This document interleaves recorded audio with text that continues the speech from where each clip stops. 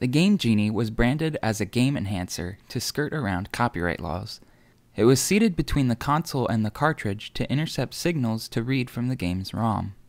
This lets the player essentially rewrite a handful of bytes in the game's code, allowing for simple cheats and modifications. The Game Genie line of products did not produce derivative works from the game being played, it only acted as a middleman between the processor and the ROM data. When the processor needs to read or execute from ROM, the value stored on the game's cartridge at the specified location is copied to an internal register. The Game Genie monitors every read from ROM and hijacks the signal if any of the applied Game Genie codes correspond to that memory location. Each code can monitor a single location and substitute in a single value in place of the intended value from ROM. This technique was very limited, however, since only 3 to 5 codes could be inputted at once, so only a handful of bytes could be changed at a time. A problem with this method arises when dealing with systems that use ROM bank switching.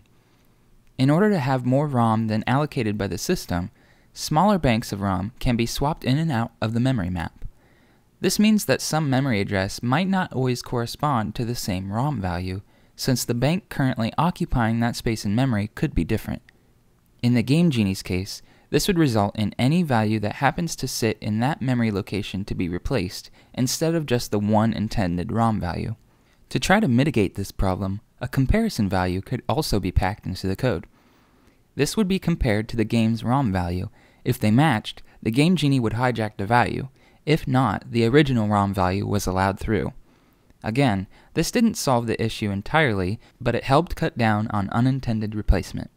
There is no way that the Game Genie could tell exactly which ROM banks are currently mapped to memory, so this was the best it could do.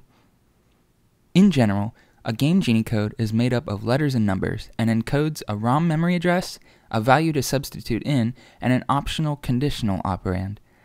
It is questionable as to why this information was encoded into a different string of characters instead of just keeping them in a raw format. In some cases, the encoding made the code shorter, easier to remember, or provided a simple integrity check. It is also possible that they were encoded to seem more magical, that is, changing a single character by one could result in a completely different code. Game Genies were released for the Nintendo Entertainment System in 1990 and then for the Nintendo Game Boy, Sega Game Gear, Super Nintendo, and the Sega Genesis or Mega Drive in 1992. They all work very similarly, but each has their own quirks due to the differences in the consoles that they were made for. Let's start with the NES version. Codes can be 6 or 8 characters long. 8 letter long codes have a conditional check, while the 6 letter variant do not. The first step to decoding the string is to substitute each letter for the 4 bits that it stands for, for example, T stands for 0110, O stands for 1001, and so on. This transforms the codes into strings of 24 or 32 bits, which is 3 or 4 bytes. You'll notice that this happens to be the exact amount of information we need to fill in the address, value, and condition. However, it would be too easy to read off the bits one by one in order. The bits need to be shuffled around to decode the information correctly. In the NES's case, the bits are grouped in sets of 1 and 3 like so, and the raw code can be identified. An interesting fact about the NES Game Genie is that the codes actually come in pairs. The NES's cartridge ROM is mapped to only the upper 32 kilobytes of memory space, so the first bit of the address is always guaranteed to be 1. For this reason, the third character in the code actually has two options, one where the first bit is 0 and one where it is 1. Here you can see that the code top lines will produce the same effect as the code two lines. This whole process can also be done in reverse when you want to create a Game Genie code from a known ROM patch. For example, in Super Mario Bros., the number of lives the player starts with is located at the ROM address 906A. Let's set this value to 8 so we start with 9 lives instead of 3. Super Mario Bros. doesn't use any bank switching, so a conditional check is unnecessary, but we could set it to 2 and it would work just fine. Re-encoding the string gives us AATOZE.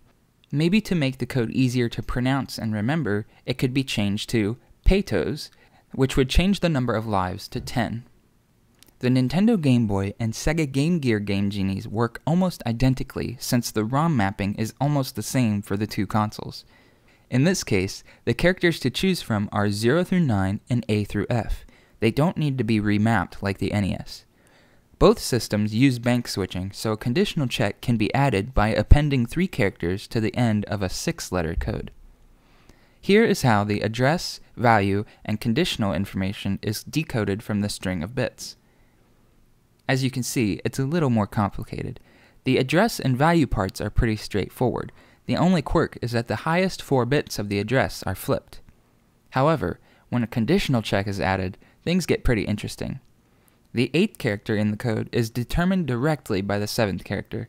The first bit must be flipped and the other three must match, or the code is determined to be invalid. This sort of acts like an integrity check to make sure you type the code incorrectly, but it really only checks the seventh character for whatever reason. Then the conditional is determined by shuffling and flipping various bits from the seventh and ninth characters. There is something else to keep in mind with these codes, and that is the console's ROM memory mapping. The Game Boy maps ROM from 0 to 7FFF, so the sixth character is limited to the characters 8, 9, and A through F. Similarly, the Game Gear maps ROM from 0 to BFFF, so the sixth character cannot be a 0, 1, 2, or 3. Otherwise, the code will be determined to be invalid. The SNES Game Genie has the simplest conversion out of all of them. The code characters range from 0 through 9 and A through F, but don't be fooled. There is a different mapping from these characters to binary that isn't just a base conversion. Since most games didn't have a ROM bank switching feature, the conditional check was not even implemented on the system. Here is how the bits are encoded to form the Game Genie code. Some of them are split into pairs. The address covers an entire 24 bit range, but the codes must refer to ROM locations, which are different depending on which memory mapping the game uses. And finally is the Sega Genesis or Mega Drive Game Genie. It is very similar to the Super Nintendo Game Genie with 8 character codes and no necessary conditional check. The one major difference is that there are twice as many characters to choose from. Almost the entire alphabet is available. Each character now represents 5 bits instead of 4. This allows for the substituted value to be 16 bits instead of only 8. The reason for this change is that the Genesis's processor, the Motorola 68000, uses a reduced instruction set computing architecture. All of the instructions are at least 16 bits in size, so in general, the smallest meaningful unit to modify is 16 bits wide. In contrast, all of the other consoles mentioned in this video use a complex instruction set computing architecture. That is, the instruction and its operands occupy separate bytes, so you can get away with only modifying one 8-bit byte at a time, like in the Mario example. The last thing to mention is that the Genesis's ROM is mapped from 0 to 3FFFFF. This limits the fourth character to be A, B, C, D, T, V, W, and X. Otherwise, the code would not point to ROM and would be considered invalid. The Game Genie could only substitute bytes from ROM with custom values. Other game enhancers, such as the Game Shark and Action Replay, could constantly write values to RAM or even only apply a code when a certain event is triggered, but these devices will have to be discussed in another video. Thank you for watching.